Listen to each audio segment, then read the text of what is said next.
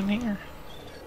If uh, if anyone's watching right now that that just recently joined, uh, I got the lights off in my room, so you can't see me at the moment.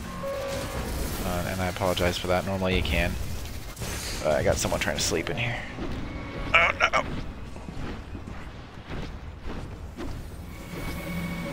Oh god, I'm gonna have to make a highlight of that.